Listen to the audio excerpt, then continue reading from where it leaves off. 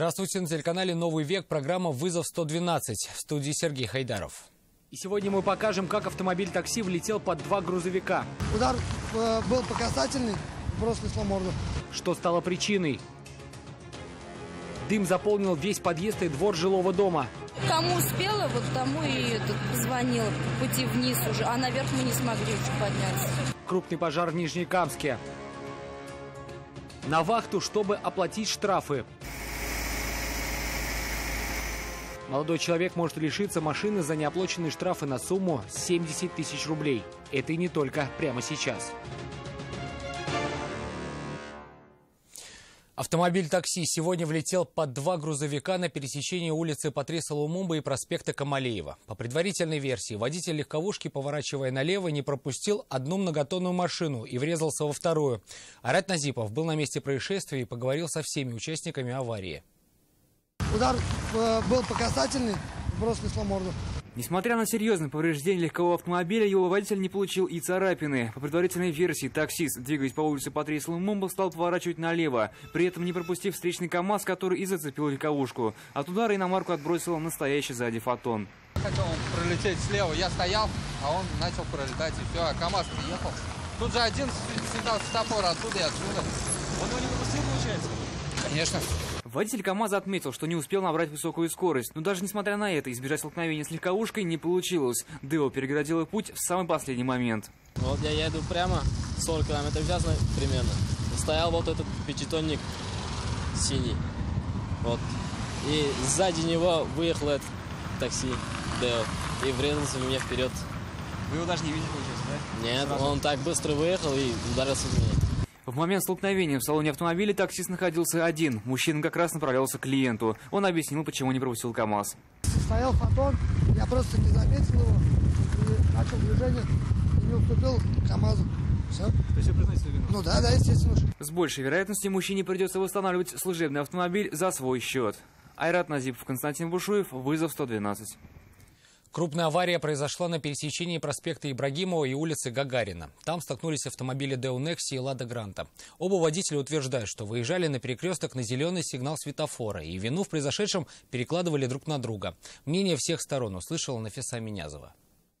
Ну вот так трясло. Да? Сейчас немножко тряска отошла. Татьяна Камолова в момент аварии находилась на пассажирском сиденье узбекской иномарки. Произошедшее она вспоминает со страхом и признается, что за почти полувековой водительский стаж ее супруга – это их первая крупная авария. Мы по Гагарина ехали. Вы хотели прямо проехать? Прямо. А он по Гагарина направо. Он, он хотел сюда повернуть. А нас полностью... На такой скорости, не знаю. Нас полностью развернуло. Супруги на перебой рассказывали, как все произошло. Говорят, не нарушая правил, хотели проехать прямо по проспекту Ибрагимова. Но в неожиданный для них момент справа и на высокой скорости их протаранил молодой водитель на отечественном автомобиле. Камолова уверены, что он хотел проскочить на запрещающий сигнал светофора, поэтому и скорость, говорят, у него была большая, и на помехи внимания не обращал. Однако сам молодой человек свою вину признавать не спешил. У него был свой взгляд на произошедшее. Может, не исправен светофор. Я не знаю, я выехал на зеленый свет, и все. Удар был такой силы, что у иномарки практически практически полностью смята передняя часть, поэтому самостоятельно покинуть место происшествия Д уже не смогла. Отечественному же автомобилю, по крайней мере, внешне досталось немного меньше. Каждый из участников аварии утверждает, что выезжал на зеленый сигнал светофора, и никто из них свою вину признавать не спешит. Свою правоту они собираются доказывать сейчас через суд. Нафиса Минязова, Адель Мулахметов, вызов 112. Девушка из Казани вместе с подругой погибли в страшном ДТП на границе Татарстана. На 119-м километре трассы Цивильск-Ульяновск-Лада Калина лоб в лоб столкнулась с грузовиком «Скания». По предварительной версии, 27-летняя девушка за рулем отечественного автомобиля на высокой скорости выехала на полосу встречного движения, где врезалась большегруз. Шансов выжить при таком столкновении ни у водителя, ни у ее 23-летней пассажирки не было. От автомобиля осталась лишь груда бесформенного металла. Отмечается, что у погибших остались дети. Сгорело полностью. Сегодня днем в квартире на пятом этаже одного из домов Нижнекамска вспыхнул пожар. Дым заполнил не только весь подъезд, но и двор этого дома. Жильцов подъезда эвакуировали. Альбина Минибаева с места происшествия.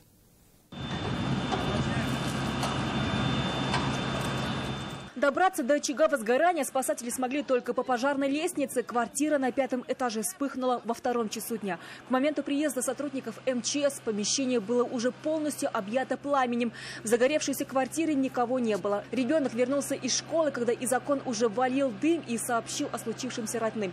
Родители школьника глухонемые. На место ЧП приехала родственница погорельцев. Общаться она не захотела. Нет, нельзя, потому что пожар, не цирк. И не концерт совсем. Очевидцы быстро распространили кадры пожара в соцсетях. Дым буквально застилает окна и улицу. Пожарный вынес из дома десятилетнего мальчика. Еще эвакуировали 21-летнюю девушку. Никто не пострадал. Многие жители сами выбежали на улицу. Кому успела, вот тому и этот, позвонила по пути вниз уже. А наверх мы не смогли уже подняться. Там невозможно. Да, там уже. Мы с шестого спускались. Ребенок пришел домой, уже был там вроде бы дым. Вот так говорят. В спальне уже. Да, был уже был дым. Видимо, проводка. Знаем, что животное осталось. Вот она плачет, там ее вывели с этажа. Вот, у нее собачка осталась. Квартира выгорела полностью, никто не пострадал. Сейчас дознаватели устанавливают причину пожара. Альбина Минибаева, Светлана Шумкова, Фахри Исламов. Вызов 112. В Казани задержали заместителя начальника отдела подразделений по борьбе с организованной преступностью МВД Татарстана, 37-летнего Евгения Рафикова. Подполковника полиции подозревают в сговоре с бывшим начальником отдела уголовного розыска МВД Республики Романом Пахомовым. Напомню, мужчину обвиняют в посредничестве во взятничестве. По версии следствия, в апреле этого года он получил взятку в размере 100 тысяч долларов США. За это обещал решить вопрос о непривлечении к уголовной ответственности фигурантов дела о незаконной банковской деятельности. За свои услуги мужчина просил 7 миллионов рублей. Его задержали с поличным при передаче денег. Следствие полагает, что часть суммы полицейский должен был передать своему коллеге Евгению Рафикову. Суд избрал для Романа Пахомова меру пресечения в виде домашнего ареста, тогда как Евгения Рафикова отправили под стражу до 5 июня. Полицейские Заинска ликвидировали наркопритон. Как выяснили стражи порядка, 24-летний местный житель, являясь потребителем наркотиков, за небольшую плату пускал в свою квартиру лиц, употребляющих запрещенные вещества, и на вырученные деньги сам приобретал зелье. Полицейские дважды выносили мужчине предписание о прекращении деятельности притона, однако хозяин квартиры их игнорировал и продолжал свой бизнес. 16 апреля его задержали. В отношении мужчины возбудили уголовное дело по статье «Организация либо содержание притонов» или систематическое предоставление помещений для потребления наркотических средств. Ему может грозить до 4 лет лишения свободы. На время следствия подозреваемому избрана мера пресечения в виде подписки о невыезде. Езда в нетрезвом виде и неоплаченные штрафы привели к аресту автомобиля. Сегодня днем на пересечении улицы Губкина и проспекта Победы автоинспекторы остановили «Ладу Калина». Во время проверки выяснилось, что хозяин легковушки не оплатил штрафы на сумму свыше 70 тысяч рублей. При этом за рулем был не он, Мужчина ранее лишили э, прав за неоднократную езду в нетрезвом виде, после чего он покинул пределы Татарстана. Что теперь будет с водителем, машиной и ее владельцем, расскажет Анна Городнова. После остановки автомобиля и проверки документов его водителя инспекторы поняли, что должника в салоне нет. За рулем был его друг. Сам же 21-летний хозяин машины в это время находится в Сургуте на заработках. До этого, а именно минувшей зимой, его лишили водительских прав за езду в нетрезвом виде. Период, когда он попался в состояние алкогольного опьянения, э, суд рассмотрения еще не было, он еще раз попадается в состояние опьянения. Первый раз срок на полтора года, во втором случае суд его лишает на два года. Помимо лишения прав, молодого человека обязали выплатить штраф в размере 60 тысяч рублей. Учитывая, что у водителя были неоплаченные штрафы за превышение скорости, сумма превысила 70 тысяч рублей. За их неуплату машину и арестовали. Ему в данный момент дается 10 дней для обжалования или исполнения решения суда. Если он э, не оплатит данный штраф в течение 10 дней, соответственно, данное транспортное средство будет передаваться на реализацию для погашения его штрафа. Сам владелец «Лады» по телефону согласился с таким положением вещей и обязался все оплатить.